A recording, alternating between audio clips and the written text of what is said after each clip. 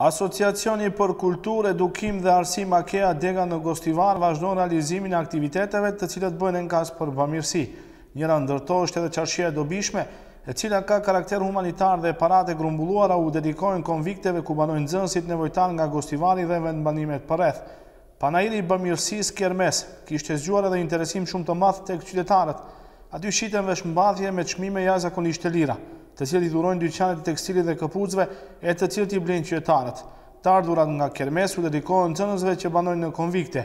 Përgjegjësi i aktivitetit, zoti Hasan Këjmas nga Antalija e Turqisë, tregon se ka interesim shumë të madh të qytetarëve për të blerë produkte, duke sqaruar edhe qëllimin e këtij organizimi.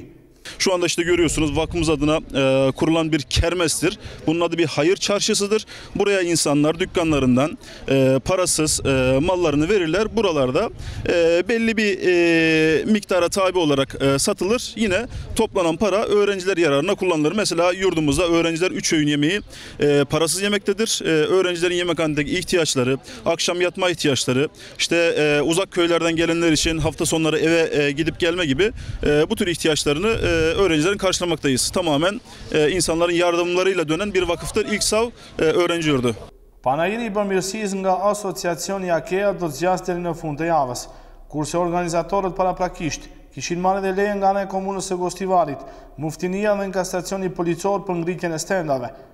Këto organizime me karakter humanitar, Asociacioni për Kulturë, Edukim dhe Arsim, Dega në Gostivar, ka katër vite radhazi që organizon edhe në qytetin tonë.